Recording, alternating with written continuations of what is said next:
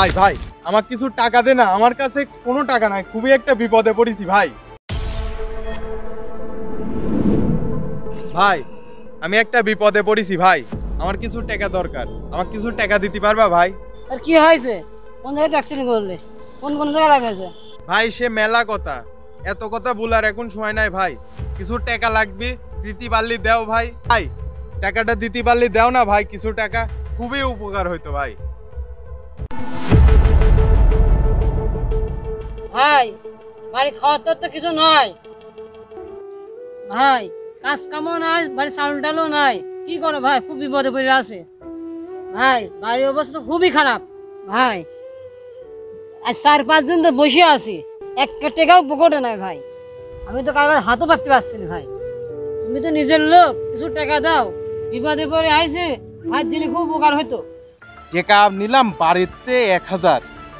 এখন টেকা তো দিয়া যাবি না। কোনোভাবেই না। কারণ কি? আমি আবার বাপের তে নেবন কেম্মা আরে এই সময় উক হেল্প করে ওর কাছ থেকে টেকা আবার ব্যাকও পাওয়া যায় না। এমনি গরিব মানুষ টেকা আমাকে দিতেও পারবি না নে। আর এখন আমি উক টেকা দিতে পারব না নে। এই টেকাগুলো নিয়ে আমি ঘুরে বেড়াবো। ঈদের সময় উক টেকা দিতে যাব কে? ধুর। এই নুরু আমার কাছে কোনো টাকা পয়সা নাই। আমি টাকা পয়সা দিতে পারব না নে। বুঝছিস এর আগেও তো একশো টাকা দিছিলাম। টাকা ব্যাগ দিয়েছিস? শোন আমার কাছে টাকা পয়সা নাই টাকা পয়সা দিতেও পারব না নে। আর এইসব লুঙ্গি টুঙ্গি সিরা জামা মা কি পরেছিস যা সর সর যা যা ঈদের ভিতরে যা নামে। পাগল ছাগল কোনটি আসে রে? জীবনে জ্বালাম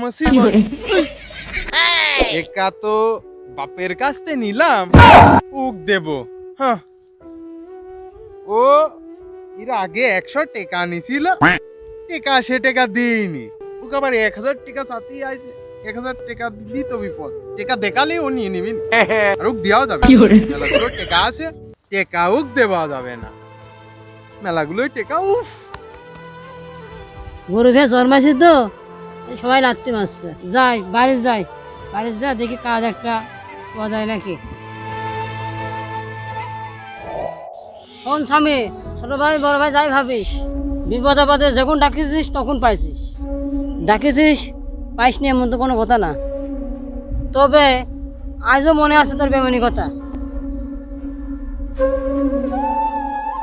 স্বামী, নিজের যতটুকু আছে, ততটুকু দেওয়ার জন্য চেষ্টা করি। যা আছে, তাই দিয়ে চেষ্টা করি আমি। ধর পারলি নিজেকে পরিবর্তন করিস, আর পারলি অহংকার ত্যাগ করিস। প্রতিশোধ আমার নিয়ে লাগে না। প্রতিশোধ উপর আল্লাহ নিয়ে নেয়। থাক গেলাম।